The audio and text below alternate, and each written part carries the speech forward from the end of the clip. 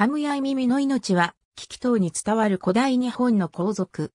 初代、神武天皇の巫女で、一般に、第二代、水税天皇の同母兄とされるが、この系譜については、遺説もある。多神及びその同族の祖とされる。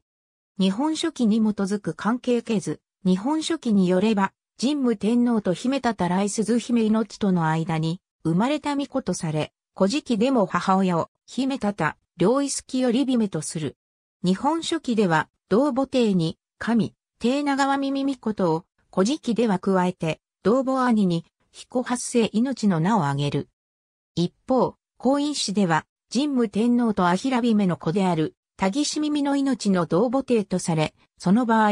古事記で、タゲー氏、命名命の同母帝とされる、キスミビ命と、カムヤイミミの命が同一人物として重なることも考えられる。新先生四六右京校別マムタ連城や、阿蘇家略系譜では、彦発生命をカムヤイミミの命の子とする遺説が掲載されている。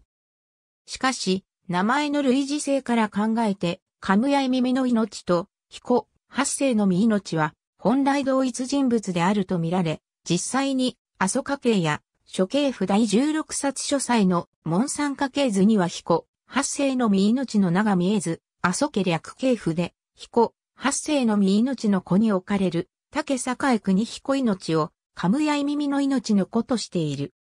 日本書紀、水税天皇即位前期によれば、調整の経験に長けていた諸兄のタギシ耳の命は、行為につくため弟のカムヤイ耳の命、神、帝長川耳巫ことを外装とした。この陰謀を知ったカムヤイ耳の神、帝長川自兄弟は、希望年11月に、片岡の大室に伏せっていたタギシ耳のを襲い、これを撃った。この際、カムヤイ耳のは、手足が震えて矢を射ることができず、代わりに、神、帝長は耳がいて殺したという。カムヤイ耳のはこの失態を深く恥じ、弟に行為を進め、自分は天皇を助けて、仁義を司ることとなった。そして、カムヤイ耳のは、水星天皇4年4月に皇居したという。古事記においても、同様の説話が記されている。田沢渡る尻と彦神社母は不詳。日本書紀では、カムヤイ耳の命は、うねび山北に葬られたと記されている。うねび山の北に所在する八幡神社社殿では、同社は、カムヤイ耳の命の墓の所在地であるといい、古くは、八世神社と称されたとする。また、大野市の市神社である、田沢渡る尻と彦神社、その末裔の神別の式屋型主の僧者で式内者で、ある、式野県出身者をはじめとする書者で、命の霊が祀られている。日本書紀では、カムヤイ耳の命について、多神の祖と記している。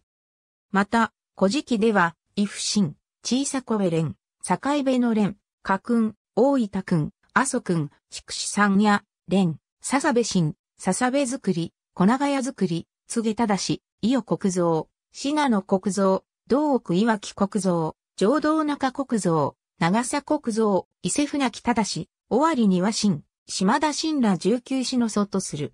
仙台旧寺本義、天皇本義では、公営として、違法神、島田新、笹部作りが挙げられている。その他、新先生史録では、次の士族が公営として記載されている。前述のように、古事記では、伊予国蔵、信濃国蔵、道奥岩木国蔵、浄道中国蔵、長佐国蔵の祖とする。仙台旧寺本義、国蔵本義では、次の国の宮津子が公営として記載されている。上記のほか、同書では、伊山り国の宮津子には、印馬国蔵同祖時期桁彦命の古足公営命、中国作りには、伊予国蔵同育て仮馬命、阿蘇国蔵同祖の被国蔵には、大分国蔵同祖式棚彦命の小立男組命が定められたとされる。